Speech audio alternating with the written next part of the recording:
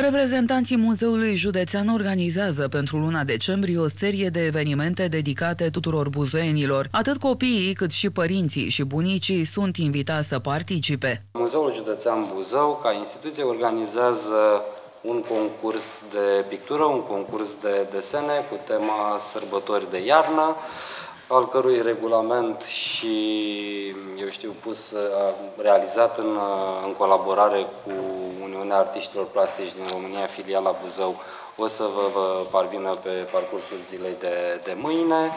Este un concurs la care Consiliul Județean Buzău uh, va oferi premii uh, participa tuturor participanților și mai ales câștigătorilor. De asemenea, un program în premieră implementat de către Muzeul Județean Buzău este vorba de zilele de poveste.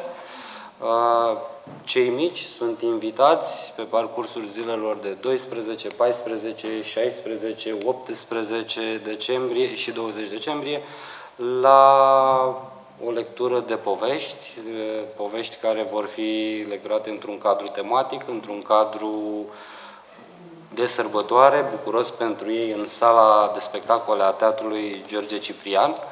Vor uh, avea reprezentații actori uh, profesioniști.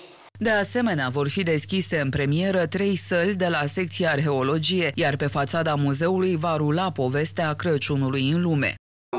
Muzeul Județean Buzău are în, vedere, are în vedere deschiderea celorlalte trei, secții, celorlalte trei săli ale secției de arheologie pe parcursul uh, lunii decembrie.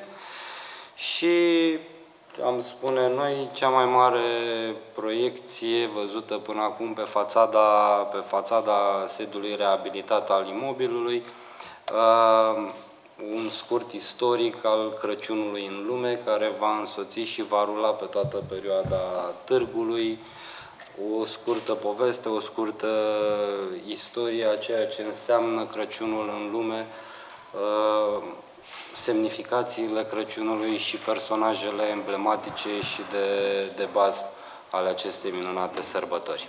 La intrarea în clădirea muzeului va fi amenajat un tunel luminat lung de 35 de metri cu peste 42.000 de beculețe.